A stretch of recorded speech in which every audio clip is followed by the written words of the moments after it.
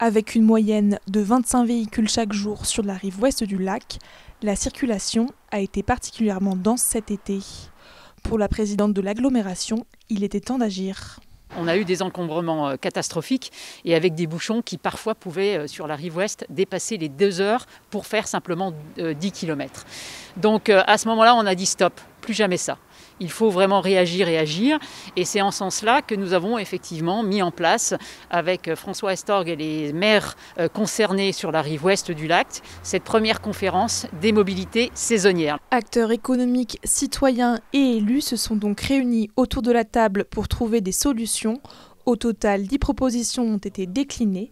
Parmi elles, plusieurs ont été prises pour encourager l'usage du vélo.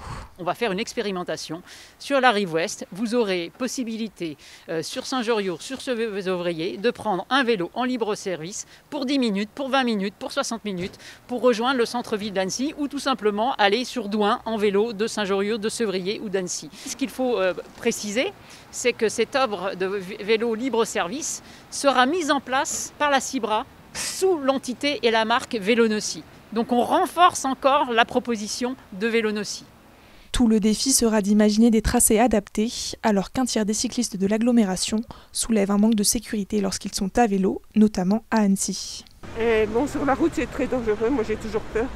Oui, bien sûr, je pense qu'il y a des points, euh, on va dire, névralgiques de la circulation où les cyclistes sont réellement en danger. Le vélo aujourd'hui c'est au quotidien, je prends quasiment pas la voiture parce que sur les trajets que je pratique c'est sécurisé. Si ce n'était pas le cas, euh, je le ferais pas. Et je pense qu'il y a d'autres zones où c'est moins sécurisé. Mais après l'échec de la Corona Piste inaugurée cet été, des alternatives ont pu être avancées. La Corona Piste, on a bien vu effectivement ses avantages et ses inconvénients.